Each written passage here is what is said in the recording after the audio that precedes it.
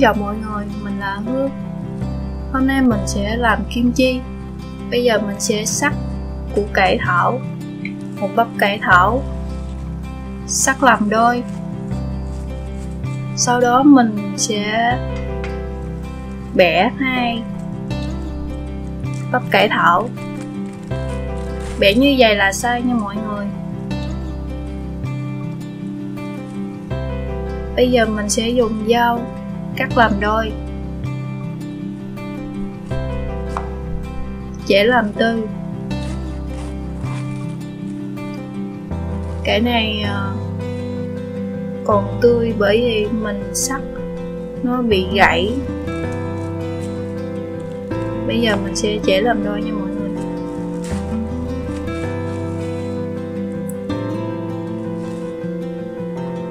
Để qua một bên. Sắc nó bắp cải tiếp theo.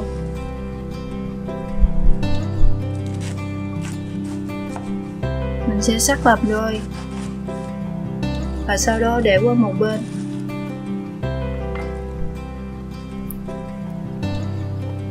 Bây giờ mình sẽ ốp cải.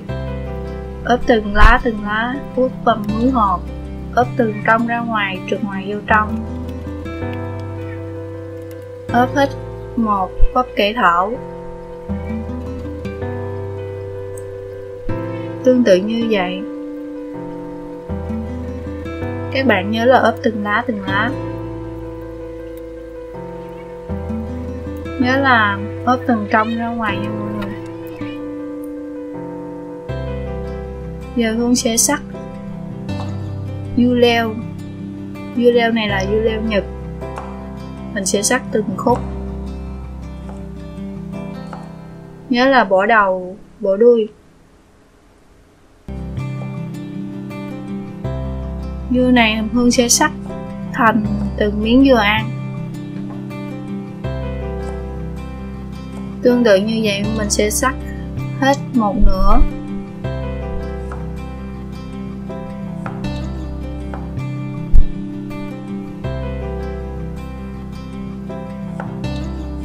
Mình sắc miếng dừa ăn muối thì nó mau hơn. Còn phần còn phần dưa mình sắc mình sẽ sắc thành ờ, một cánh bông. Sắc ngang sắc dọc. Các bạn nhớ là đừng có sắc tới uh, tới đáy nó sẽ bị gãy.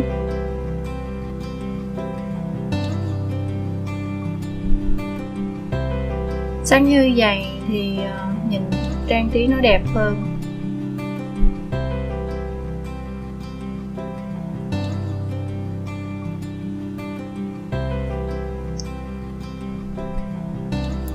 Tương tự như vậy, Hương sẽ sắc hết cái phần dưa leo.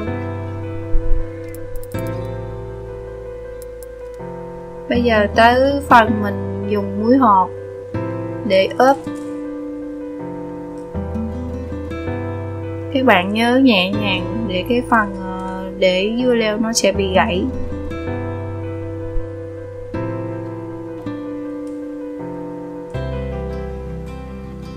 Dưa leo này cũng chưa có ờ, phơi nắng bởi vì nó giòn. Tôi sẽ ướp hết cái phần dưa leo. Muối hột. Mình phải lựa muối hột hạt to nha mọi người. Bây giờ ướp cái phần uh, dưa. Hồi nãy hương sắc vừa ăn. Cho muối hột vào. Sau đó mình sẽ trộn đều.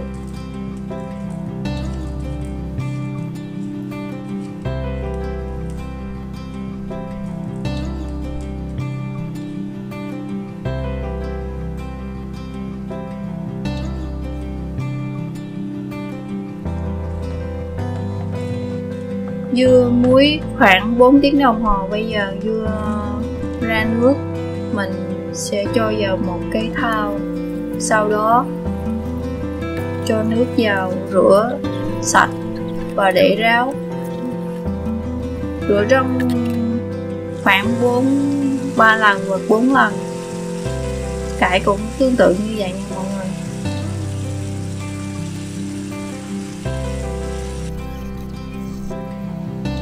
Cải nhớ là rửa cho sạch để không uh, cải nó sẽ bị mặn.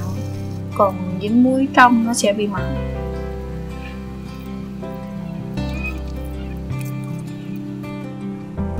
Mình sẽ cho vào một cái uh, dĩa để ráo.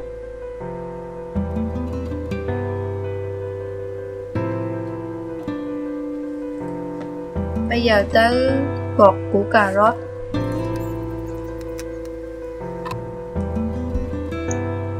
Củ cải trắng.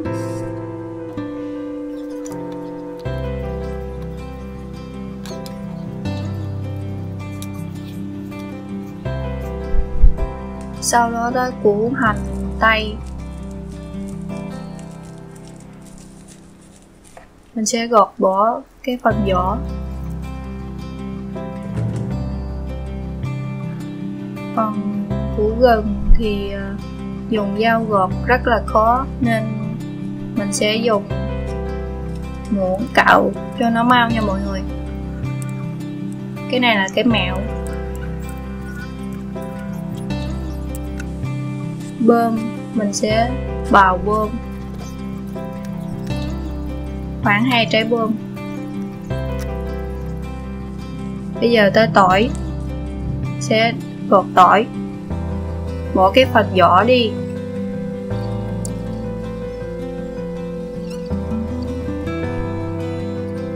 Còn ngò sẽ tước cái phần lá úa của ngò bỏ đi.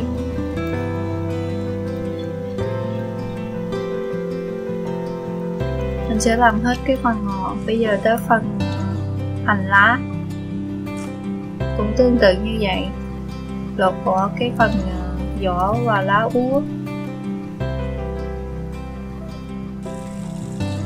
Đem đi rửa. Rửa sạch. Hành ngò và cải trắng. Hành đã rửa xong, bây giờ sắc từng khúc từng khúc.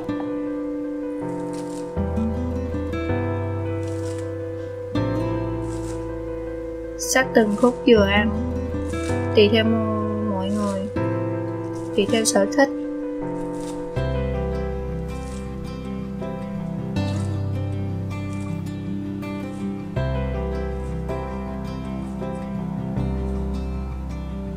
Sắc hết phần hành. Sau đó tới phần hẹ cũng tương tự như vậy còn củ cải trắng thì dùng một dao bào bào nhuyễn. Bào hết củ, một củ cải trắng.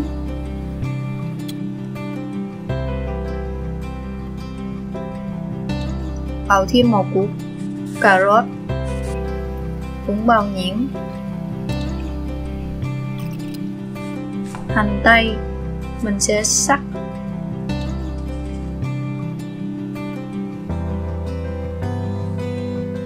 sắc bỏ phần đầu, bỏ phần đuôi. Sắc từng miếng. Gần, mình cũng sắc từng miếng. Bơm.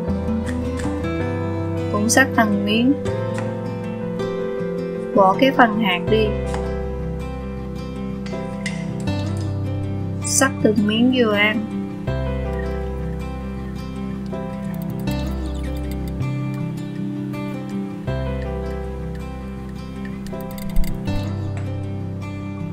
Bây giờ mình sẽ xong bắt một, chảo nước, khoảng gần 200ml đậy nắp lại. Còn đây là bột nếp. Bây giờ mình sẽ rây cái phần bột nếp vô một cái chảo. Khuấy đều. Cái bột này để ờ,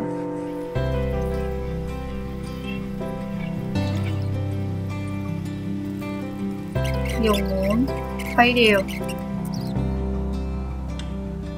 Bơm Hương sẽ cho vào một cái cối xay.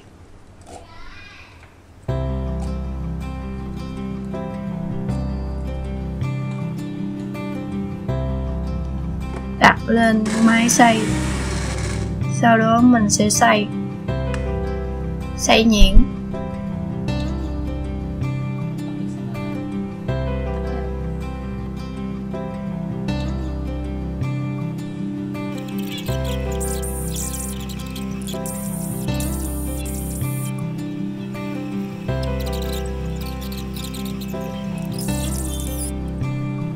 Bây giờ tới phần uh, trộn làm kim chi.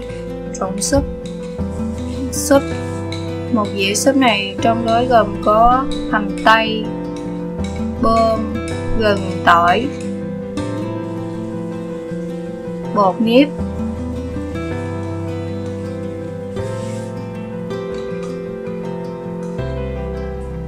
Đường. Đường khoảng 2 muỗng cà phê. Hạt nêm một muỗng hạt nêm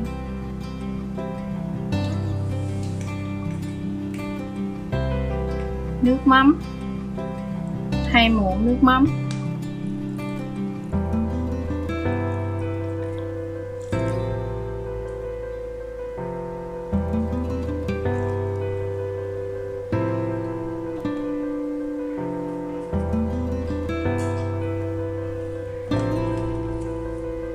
Và sau đó, bột ớt Hàn Quốc.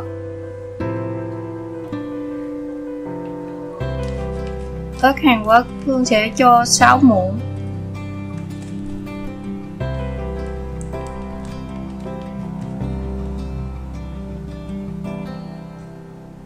Bịch ớt Hàn Quốc này có giá là 20 đồng nha mọi người. 20 đồng tiền mã. Quy ra tiền là 101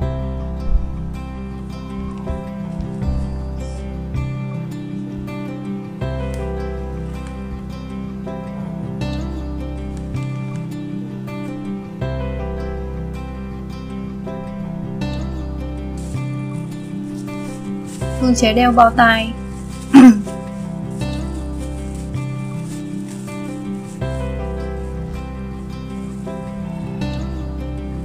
sẽ cho hành và ngò hẹ.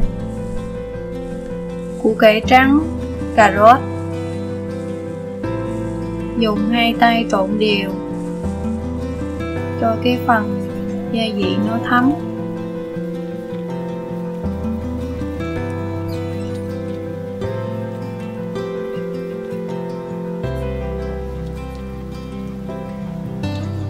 Bây giờ tới phần mình sẽ ốp. Dùng một phần kẻ thảo bắp kẻ thảo. Sau đó mình sẽ ốp từng lá từ trong ra ngoài. Từ ngoài vô trong. Ốp sau cũng được hết.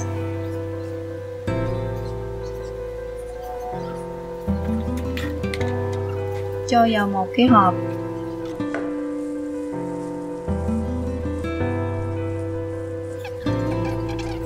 Cho cái phần cải thảo dụng vào cái thau mình cũng sẽ trộn đều. Sau đó mình cũng sẽ cho vào một cái hộp cho cái hộp nó đầy.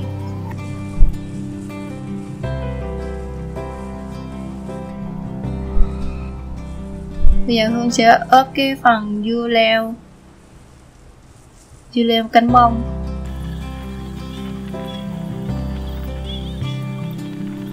Các bạn nhớ là nhẹ tay nếu mà mạnh tay thì cánh bông nó sẽ bị gãy. Ốp cái phần à, dưa. À, hồi nãy hương sắc dừa ăn. Mình cũng sẽ trộn đều.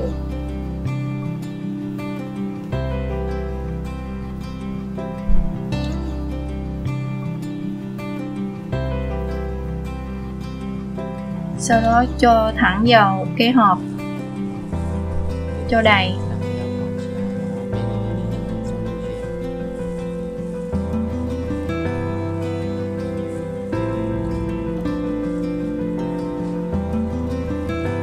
Hết xong, anh chị em nhớ là để ngoài một ngày hoặc hai ngày, xong rồi sau đó mình, kim chi của mình nó lên men. Hơi chua, anh chị em hãy đem bỏ dầu ngăn mát để ăn khoảng hai tuần đến một tháng nha. Lưu ý, nếu mà mình vừa làm xong mình đem để vào ngăn mát thì nó sẽ không có chua